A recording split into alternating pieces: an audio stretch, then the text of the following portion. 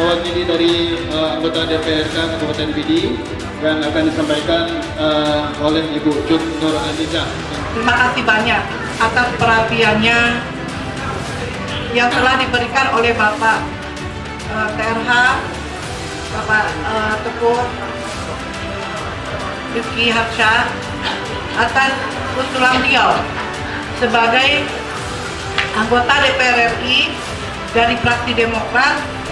untuk memberikan bantuan berupa gaya siswa.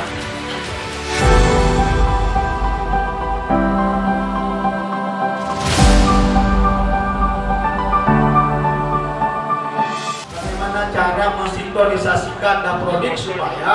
ada urusi-urusi danyo yang ada kesalahan dalam daftar dengan sekolah nama akte, salah tanggal lahir, salah nama, itu juga menjadi masalah dalam daftar produksi pula. Yang berikut beasiswa yang telah disalurkan sudah ada total 272.685 siswa yang kamu temu. Luna ada dari tahun 2015 sampai tahun 2022 artinya biaya siswa ini bukan digunakan partai demokrat untuk mendongkrak kader untuk pemilu dari tahun 2015 sampai tahun 2022 kamu konsisten untuk meningkatkan mutu dan kualitas pendidikan di Aceh khususnya di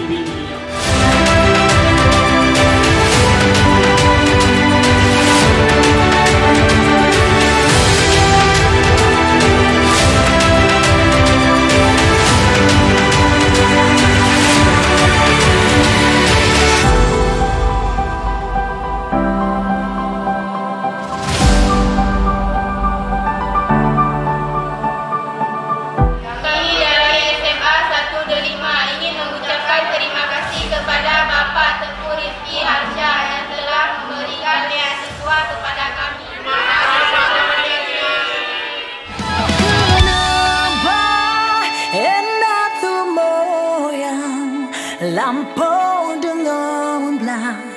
luar bukit